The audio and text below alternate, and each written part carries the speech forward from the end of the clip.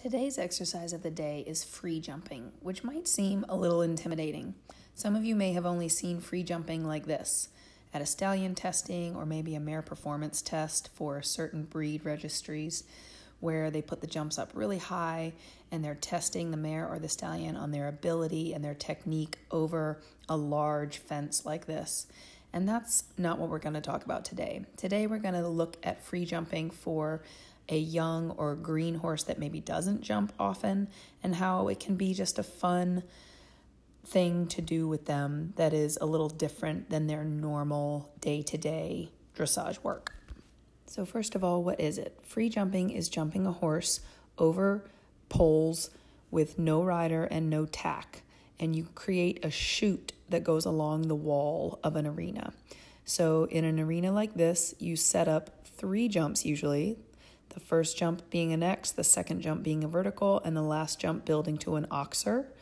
And you create a chute like we've done here. This is a large sand arena with a three board fence all the way around it. And we've used standards and poles to build a chute along one wall. We did not have enough poles and standards to build three jumps. So we've only made this chute have one jump and then another jump and that's fine for young horses that haven't ever been free jumped. So, again, a normal setup would look like this with three jumps, and the distances are listed there that are normal for usually a warm blood horse. We're just going to eliminate the last jump, the oxer, because we didn't have enough standards and poles, and because the horses we're jumping today have never done this before. The distance leading to your first jump doesn't matter very much, but you need to have at least 10 meters of good footing. The distance from the first jump to the second jump is listed there as six and a half meters. And you could make it a little more towards seven meters if your horse is a very big mover, or of course, you could shorten it if the horse is a smaller mover. The biggest concern in free jumping is, of course, the safety of the horse and the safety of the fences. So I like to look at the front of the chute and think about how the horse will see it. And I didn't like that these standards were leaning in because of the built up nature of the footing on the side.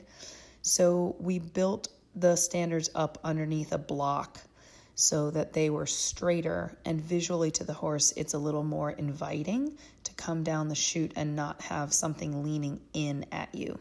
So this now looks a little bit more inviting and I've put that caution tape up in between the two jumps because the other big concern is that the horses get too excited and they could possibly jump out if the fence is not high enough. So I would never ever do free jumping in an arena that doesn't have at least a three board fence and if you have access to an indoor arena with a solid wall or a covered arena with a solid kickboard, that is an even better option. The other safety things to consider are that usually when you use a normal standard for the jump standards that are next to the fence, there's a bit of a gap.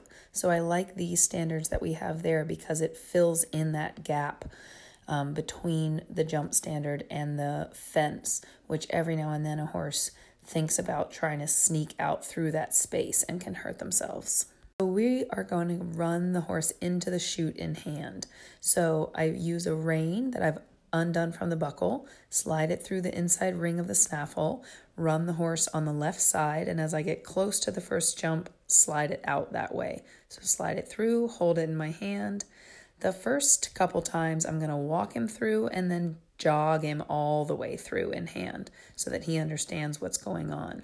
And I've lunged this horse a little bit first, of course, far away from the jumps to warm his body up a little bit.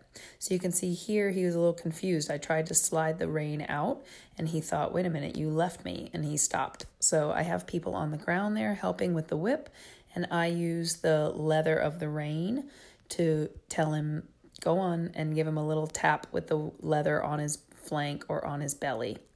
So now I encourage him and he's starting to figure it out. You can see we only have the poles just on the ground now. They're not even an X. And now that he's getting the idea, we're going to take the second jump and make it a little X. So this is a four year old. He's never done this before. So we just let him figure this out in a very easy, no stress kind of way. Now he's starting to look ahead. We make the second jump a little X. And in between, we catch him and give him a treat, or you can have a grain bucket there to entice him to come right back to you in between. So now that he's got the idea, we make the second jump a vertical. And I have my helpers here with a lunge whip. If he were to think of quitting, he's still not sure of his timing and so forth, but that's why we let him go through it. You are seeing every pass we made with this horse this day. So you can see that he takes a little while to figure it out. And then that last one that he did, he did a really great job. So we're going to end on that. The vertical we only built up to about two foot three inches. The first time I do this with a horse, I want to have lots of praise, lots of treats, and no pressure. I'm not trying to build the jump up to see how high he can jump the very first time. You'll see with these horses we have front boots and bell boots on for protection. And before we start the free jumping, we're lunge them a little bit each way just to let them loosen up.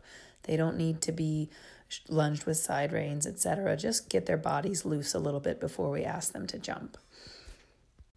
This is another young horse. He's a six year old Oldenburg. Um, so he's a little bit more mature, but he's never free jumped either. So we're going to start the same way poles on the ground. We walked him through, we trotted him through in hand, and now we're going to let him go through. I ended up taking him through a, a second time in hand because he got a little confused uh, the first time. So now we're going to try to let him go. And you can see he kind of doesn't know. We put that last jump up as an X and then he got over it and he was very proud of himself.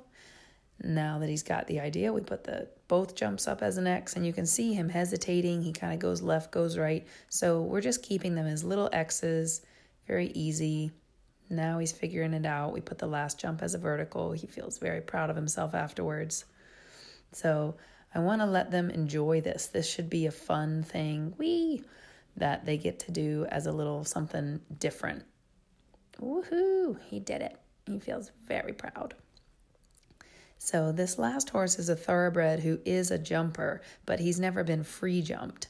So, we go ahead and we did the same process, but then we moved it a little more quickly to a slightly higher vertical since this horse has done a lot of jumping under saddle and he has no problem with this.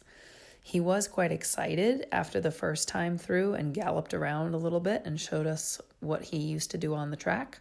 Um, but we caught him, cooled him down, walked him for a bit, and then let him go through again and met him at the end with a bucket of grain. And he figured out pretty quickly that this was a fun game.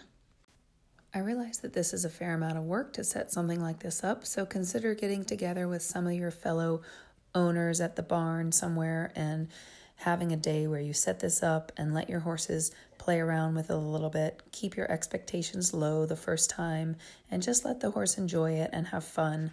I think it's really good to get the horses out of their same old routine with dressage, and a little bit of jumping is always good for their spirit and for their coordination. So I hope you enjoyed it, and please subscribe for more videos.